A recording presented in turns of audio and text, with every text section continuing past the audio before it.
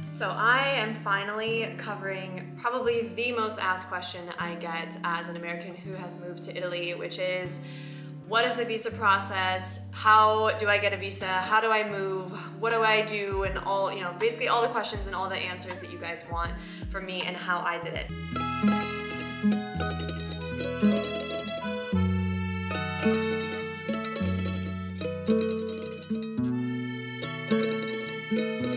I am speaking from, of course, my own experience, and I'm gonna also give some tips and things that I learned, as well as the Italian consulate has been generous enough to give me some details that may help people who need a different visa than me.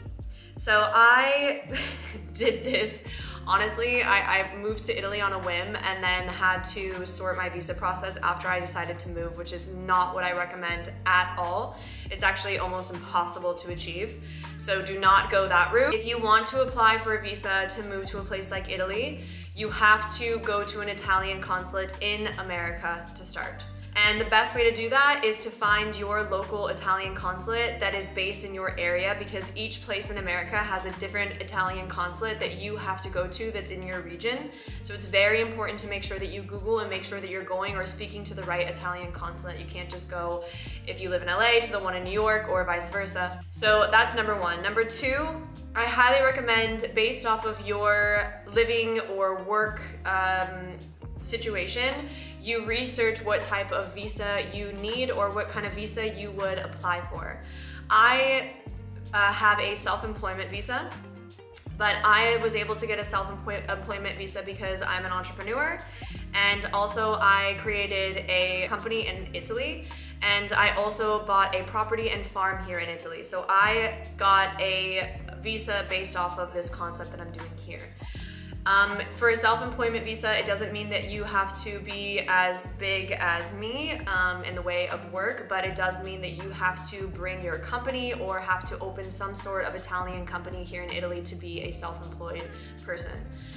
The number one thing that Italians really look for is to make sure you pay tax. They are a very high taxed country. So just be aware of that is if you do move to Italy, it's not like certain places in America where you can kind of skip around tax and paying it, etc. It doesn't really work like that here. You have to pay the tax. It's a very bureaucracy country. When you apply for a visa, I actually hired a visa lawyer that was based here in Italy, based in the region that I was going to live, which is the property that I was going to buy.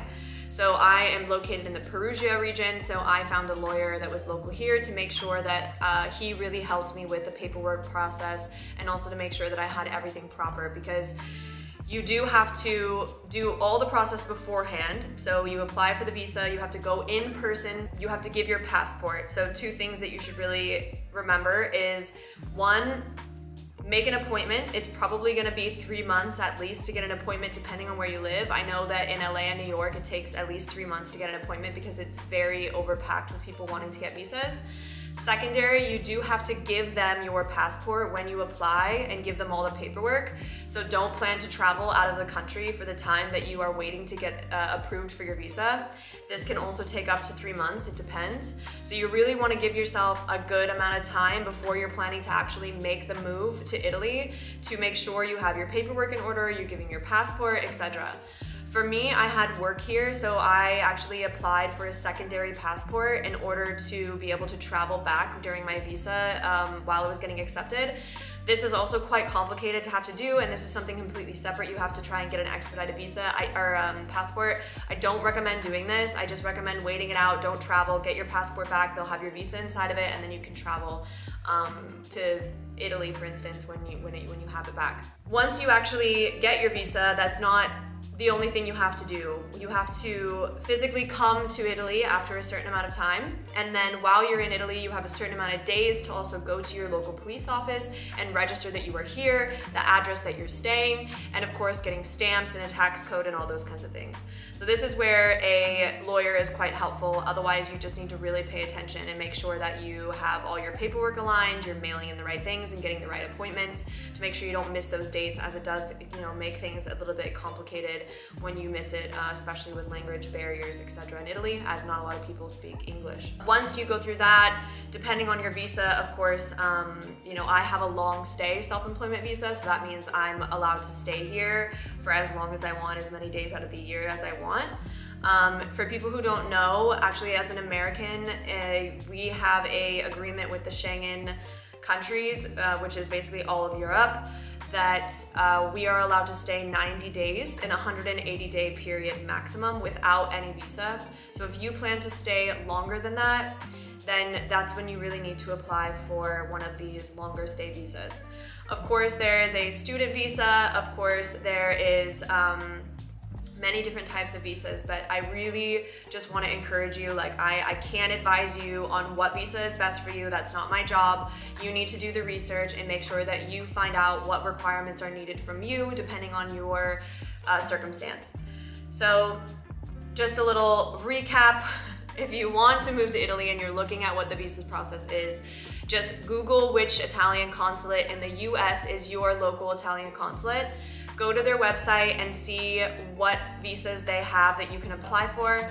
Feel free to call them. They're also quite helpful if you can get them on the phone. They're, ha they're happy to answer questions for you.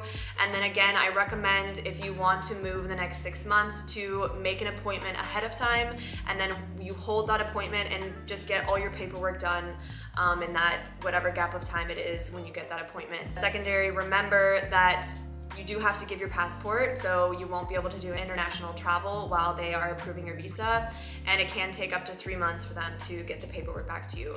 And you do have to go physically in person, and you have to register all your information. Um, the thing is is with this type of work like it, you really have to be on top of your stuff. And if one thing is wrong you miss the appointment and you have to go back and schedule again. So this is just my experience. I did so many things wrong because i didn't know what i was doing in the beginning. And so i just just really do your research take your time. It doesn't need to be rushed. Find out what best visa is for you. And um, yeah i hope that this is helpful.